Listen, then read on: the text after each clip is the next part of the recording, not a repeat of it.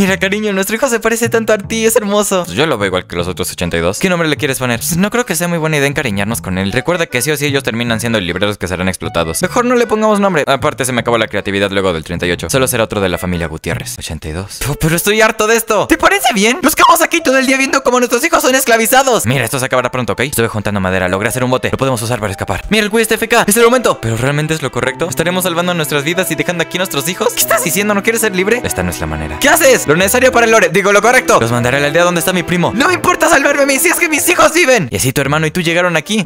Bueno, como decía, tu madre hizo un gran sacrificio, así que aprovecha la oportunidad. Deja de malgastar la vida con esa gentuza. Ya cállate, la bruja es buen pedo. Ella te dio pociones, ¿verdad? ¿Sabes el efecto que tiene en nuestra especie? ¡Ya cállate!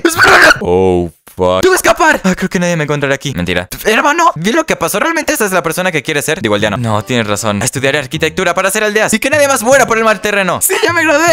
¡Por fin! ¿Estás listo para el primer proyecto, Guti? Mira los planos, pero soy arquitecto. Estás jodiendo, ¿verdad? me cago en mi vida. Me agarraron del bañil. Encima la pagas de dos esmeraldas. Bueno, pues supongo que tengo por un octavo de pan. Este día no podría estar. ¡Que no se te escape! ¡Que no se te escape! ¡Players! Seguimos construyendo, bro. Queríamos un favor. ¡Que soy arquitecto! Ah, ¿qué pedo con la mansión que querían estos güeyes? Está bien alta y ni siquiera me pagaron. Mínimo en este calabozo estoy a salvo. Hola, oye, mira, quiero una fortaleza y.